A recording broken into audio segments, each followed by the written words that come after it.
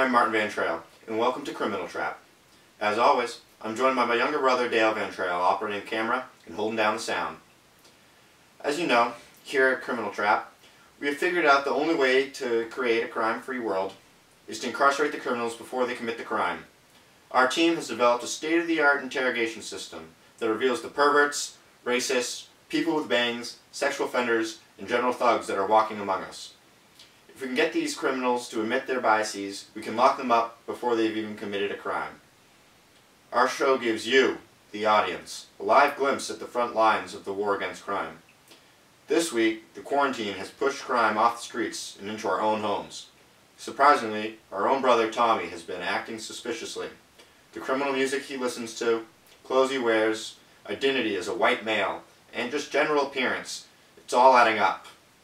Join us as we systematically target and frame any possible underlying criminal tendencies my brother is hiding.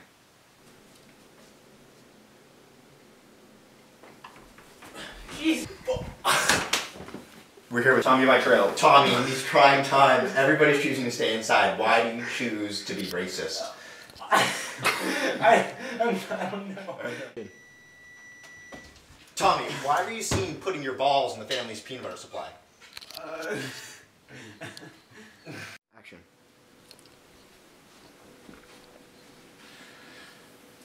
the hell? Tommy Van Trail. Why are you just dreaming of underage children? Why did you just wake me up?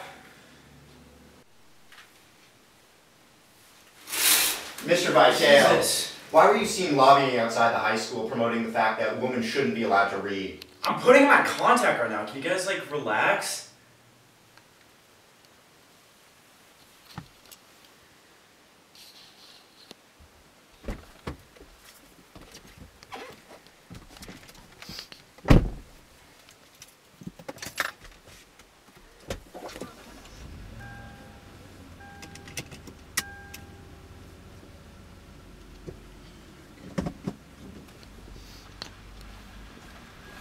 Mr. Van Trail, Jesus, Mr. Van oh Trail, my God. can you please tell us why you've been pimping out Grandma?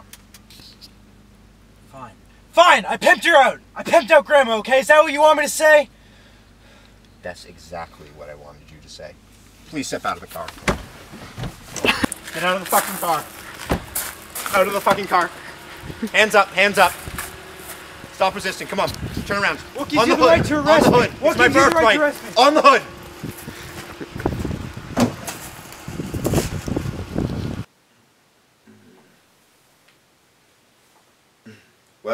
That's it for today, folks. I'm proud to say another man is behind bars before he could do literally anything. Thanks for tuning in. I'm Martin Van Trail, signing off. Stay safe and stay suspicious, America.